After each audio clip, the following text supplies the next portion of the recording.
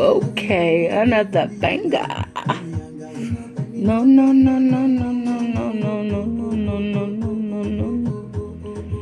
Baby, give me la, la, la, la, la. Ooh. I better hurry up and get to that before it melts. But let me let y'all in on it. What's going on here? This is the homemade peach cobbler from Spring Creek. Yeah, you see the name on here. Spring Creek Slow Smoke since 1980s. Spring Creek Barbecue. This is what we're looking at. You see that baked potato? Ooh.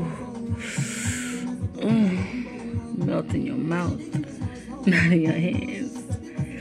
Ooh, look at that slow cook.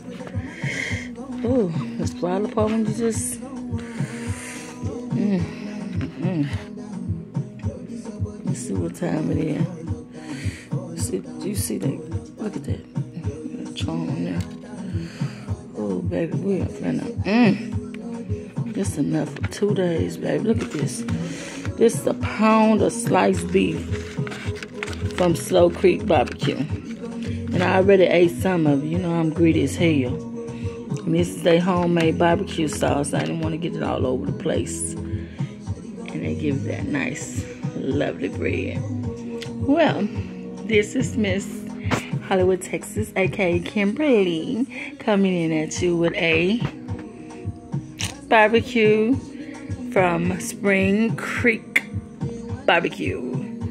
So go check them out. Bye.